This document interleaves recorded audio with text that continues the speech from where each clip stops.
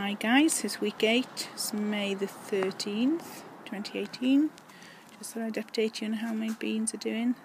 These are the ones I grew on the windowsill from plants. And these are dried beans that I kept from last year's crop, dried them over the winter. We're just starting now.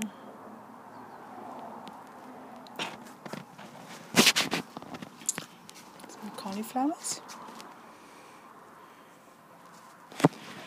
And my cucumber plants I've put out now. They're small and I'm protecting them. And hopefully they do well. Some mustard seeds that I put in. And some chives. Hit the like button and subscribe if you want to see how they do through the summer. Thank you for watching.